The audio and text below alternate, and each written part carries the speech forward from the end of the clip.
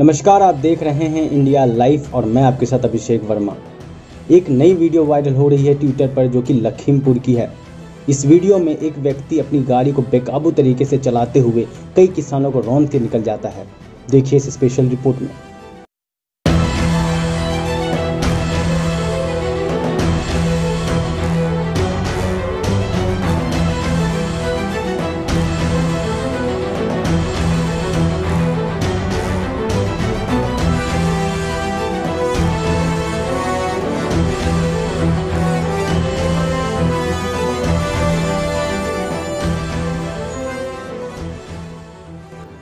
तो देखा आपने कि कैसे किसान मस्त अपनी धुन में आगे चल रहे हैं, लेकिन उन्हें क्या पता कि उनकी मौत उनके पीछे आ रही है।